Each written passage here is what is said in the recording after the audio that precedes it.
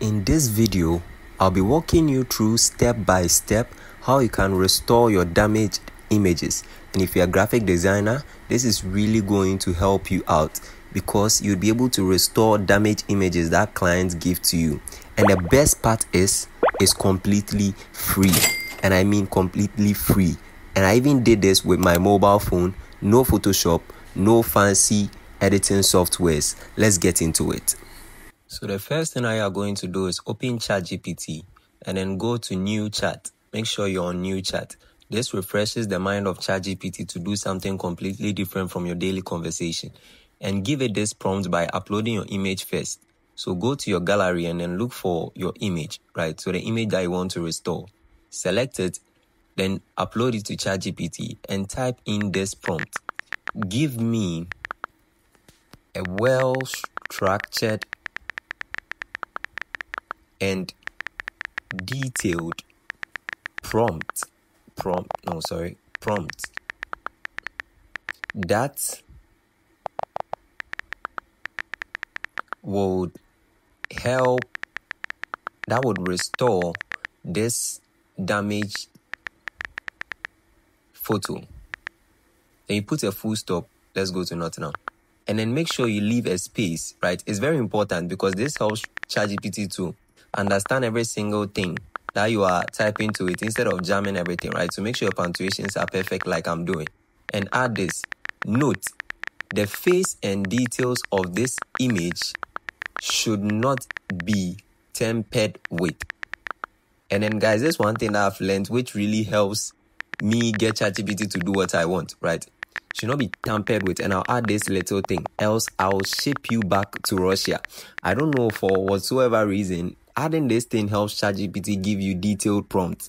This is something that I personally do. So yeah, I mean, you can also try it yourself. So as you can see, it has given me an ultra detailed photo restoration prompt, right? So what I'll do is I'll just copy the prompt. It will give me alternative prompts as well, but then I often like to pick the first one, but I can pick all and then test it out and see which one works for you. But the first one often works. So just copy the first prompt, that well detailed prompt has given you. Copy it. Now don't let ChatGPT generate your image for you. Go to this tool called Google Gemini. Google Gemini. This is, I mean, a master that gives, I mean, it's free. Charlie, nah, you won't get this anywhere. So with this side as well, make sure you upload your image. So go and look for your image. Where's the image? Let me let me scroll down. So go and look for the image. Uh, okay, I think this is it. So look for the image, select it, right? And then paste the prompt that ChatGPT gave to you in here. So you just click paste. And then you're going to wait. If your internet access is, um, I mean, really fast, it would load fast. But then I don't know why my Wi-Fi is delaying today. But then it will still come, right? And guys, if you haven't subscribed, kindly subscribe to motivate me to create more of such amazing tutorials. It really helps me a lot. So I'll just hit the send button and then it will take some time. It will take some time to generate. Note but sometimes it wouldn't give you perfect results, right? But then it's up to you to know how to tweak it. But trust me, guys, what this is going to do is really going to give you something cool. So look at this. So in no second, you can see that it has cleared the image. Now we can actually see the face of the woman, right? And you can see some paper marks there. So let's give it this prompt. This wasn't perfect. Remove the cuts and tears from this image, right? So you can just give it something like that, right? And then you know, second, you can see that it will remove all those paper tears and cuts. Maybe you don't have that, but then whatever problem you have, after ChatGPT has given you that prompt, it's left with you to just do minute tweaks to it, right? You have to just do minute tweaks to it. So in no second, you can see that now it has removed all those paper cuts and all those paper tears, right? With the woman's face still being well detailed, right? Now you can take this from here to Photoshop and color grade, but then this is what I often want to do. This image looks dull. Let's bring it to life by adding some vibrant colors and pop as it would look in real life, right? So when you give it this, ChatGPT itself is going to color grade it for you, right? And then, I mean, it would look decent, but then after, I'll show you what I do to make it stand out really well. So after giving it this prompt, it takes some time. Guys, if you haven't subscribed, please do to subscribe. So yeah.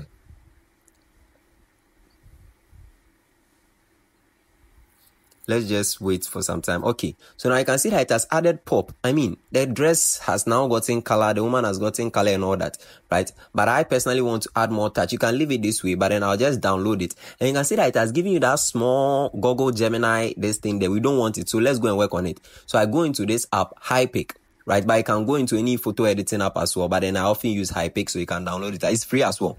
So the first thing i'll do is i'll go to adjust because I want to remove that Gemini logo there, right? I don't want it to look AI generated. So yeah, even though AI did it. So let me go back to Google Gemini. So what I'll do is I'll just go and look for adjust down there and look for crop.